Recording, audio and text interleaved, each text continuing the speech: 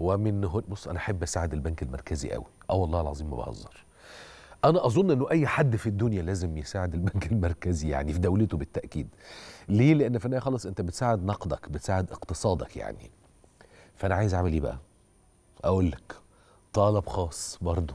عايز حاجة تفصيل أنا هرهق معايا المركز الإعلامي بصراحة. عايز حاجة تفصيل كده. على مسألة ال crypto currency أو العملات المشفرة. إحنا ممكن ننقي مثلا أهم عشر أو أشهر عشر عملات مشفرة ونشوف الأسعار بتاعتهم بدأت بكام وبعدين وصلت لكام بالتدريج ونعمل لها خطوط بيانية أو رسوم بيانية.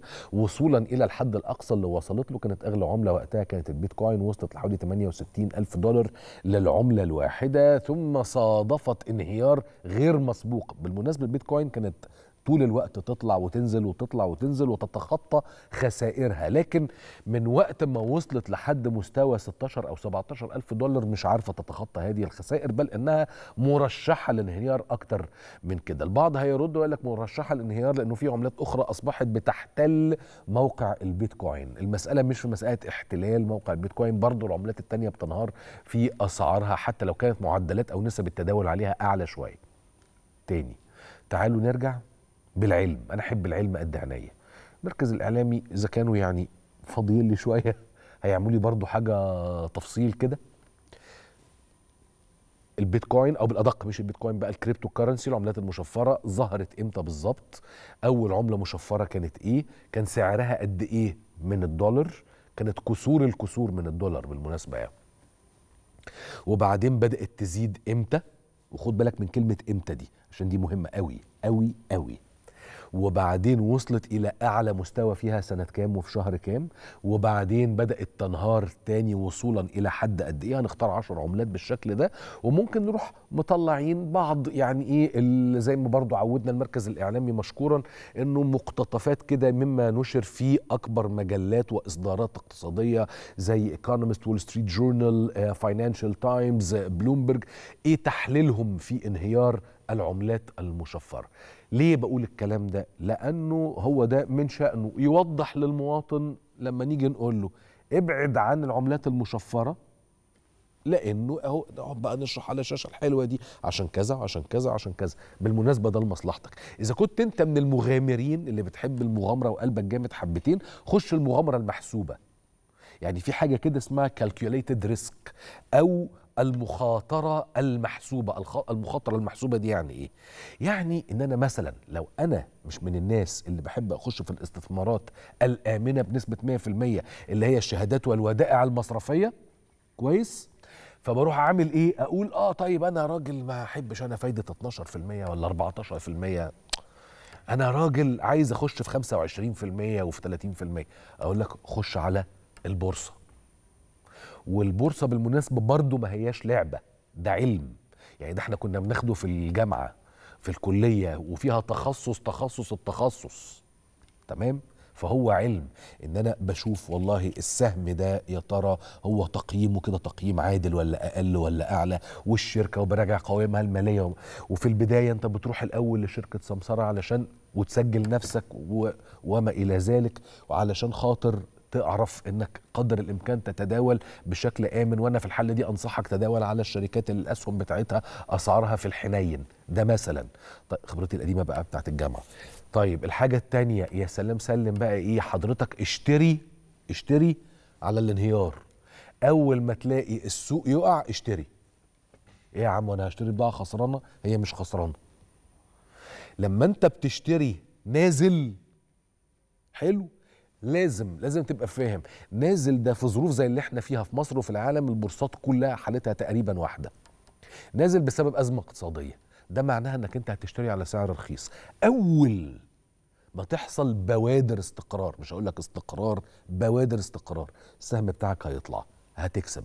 إن شاء الله في كل سهم تكسب لك كام قرش. فعدد الأسهم هتلاقي نفسك كسبان مبلغ حلو. هم ال 30% اللي انت كان نفسك فيها و25% اللي انت نفسك فيها وما إلى ذلك. طيب في حاجة تانية ودي بقى إيه؟ بتبقى المخاطرة الأكثر امانا اللي هي إيه؟ خش على الاكتتاب. دي بقى ما فيهاش هزار. خش على الاكتتاب. أقول لك على حدوتة حلوة. تخش على شركة من شركات المحمول زمان اشتغلت فيها بعد كده بقى. فلقيتهم عاملين اكتتاب. يعني لسه الشركة بتطرح الأسهم بتاعتها. فكان السهم بكام؟ قال لك لما هتروح هتاخد السهم ب 10 جنيه ما انت لسه مكتتب.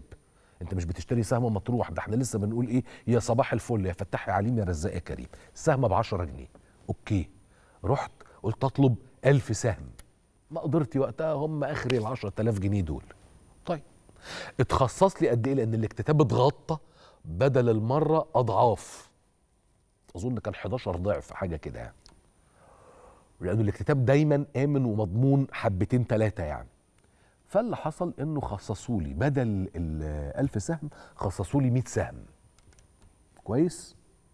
فتمام رحت أدفع ال 1000 جنيه وبعد كده خدت بعضي ورحت سجلت نفسي في شركة من شركات السمسرة والأوراق المالية وتمام وبقيت متكود وأنا زي الفل كده خلاص. عندي آه، 100 سهم في الشركة الفلانية. فرحان أنا. جم بعد كده قالوا يا جماعة المكتتبين الأوائل يقدروا من حقهم إن هم ياخدوا 25 سهم جداد بس على السعر القديم اللي هو ال 10 جنيه. كان وقتها السعر بقى خلاص السهم أصبح متداول. كان ب 45 أوبا يبقى أنا هاخد إيه؟ 25 سهم يعني 250 جنيه كمان.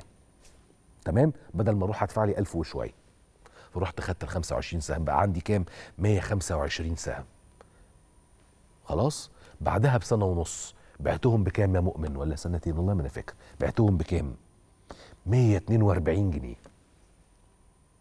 سايب أنا السهم. شغال. أنا دافع لي 1250 جنيه. ف 125 سهم. صح؟ تعال نحسبها سوا. عشان بس تبقى انت شايف إيه هي أهمية إنك انت تشتغل في حاجة أو تستثمر فلوسك في حاجة آمنة عليها القيمة قانونية شرعية سليمة ليجيتيمت هي دي بقى المسألة اللي بقول لك عليها. طيب بص هنا بقى خدنا ال 142 جنيه ده في ال 125 سهم بتوعي. بقوا 17750 شيل منهم ال 1250